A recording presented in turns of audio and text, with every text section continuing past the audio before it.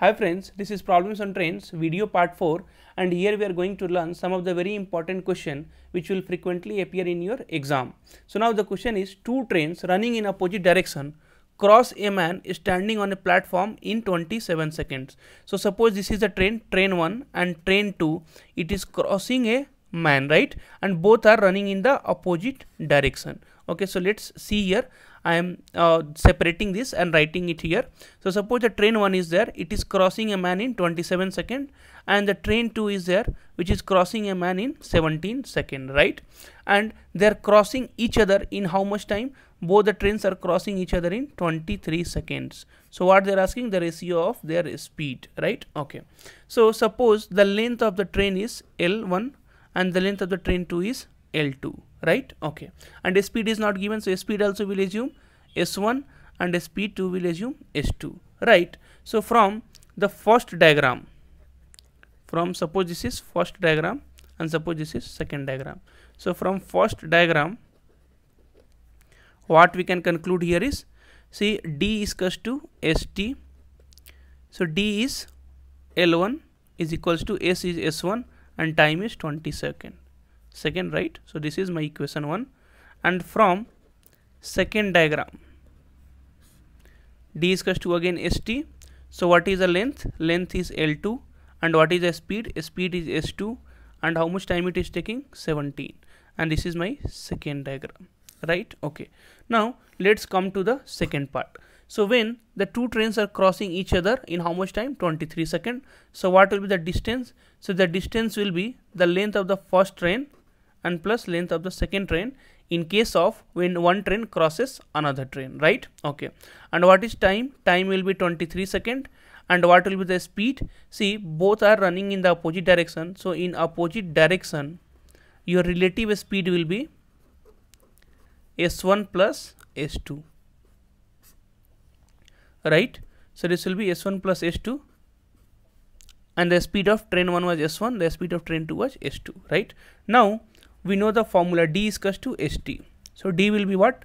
L1 plus L2 is equals to uh, s will be s1 plus s2 and time will be how much? 23 second.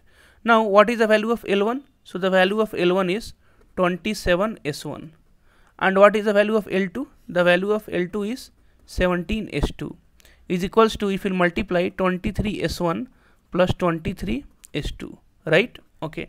Now s1 you bring it on the left side. So 27 minus 23 will be 4 s1 and s2 you send that side. So 23 minus 17 will be 6 s2 so s1 divided by s2 will be 6 by 4 and 6 by 4 is nothing but 3 to 2 we can write it in this way also so what will be the ratio of their speed so the ratio of their speed will be 3 to 2 which is nothing but option number 2 question number 2 so question number 2 is asked in SSC CGL 2000, right? We will try to solve it here. Two trains start from P and Q. So suppose this is P and this is Q and travel towards each other at a speed of 50 km per hour and 40 km per hour respectively. So suppose train 1 is going towards Q and train 2 is going towards P, right? Two trains starts from P and Q and travel towards each other. So T1 is going from P to Q and T2 is going from Q to P, right? At a speed of 50 km per hour and T2 speed is 40 km per hour respectively. By the time they meet, the first train has traveled 100 km more than the second train, okay? So suppose T1 and T2 is meeting here, suppose here. So here is a meeting point, here T1 and T2 meets, right?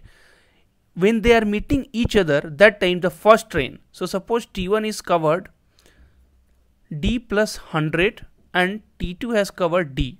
See, they are clearly telling first train is covering 100 kilometer more than the second train. So suppose second train is covering D distance, then first train will cover D plus 100. The same thing I have mentioned here. So T2 is covering D, then T1 is covering D plus 100 so they are asking the total distance between p and q they are asking the total distance between p and q which will be nothing but d plus 100 and plus d this is the total distance right d plus 100 and D, right? Now how to calculate this, right? Okay. So you see when they will meet the time will be same, right? Time will be same when they will meet, right? See if I am meeting you, if I am meeting you then the time will be same in our watch, right? So time of first train and time of second train will be same when they will meet right? Okay. Now we know the formula d is equals to st so t will be d by s. So in for first train what will be the distance?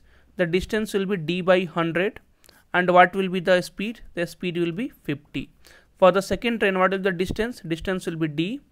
And the speed will be 40 now 1 0 and 1 0 cancel. So 5 of d is equals to 4 of d plus 400 right? See this will go and multiply 4 into d and 4 into 100 is 400 now 5d minus 4d so d will be what? 400 so we got the distance d is equals to 100 now what will be the total distance between p and q? So d plus 100 plus d. D is what? 400 so 400 plus 100 plus 400 which is nothing but 900 kilometer will be the distance between p and q which is nothing but option D. Thanks for watching the video.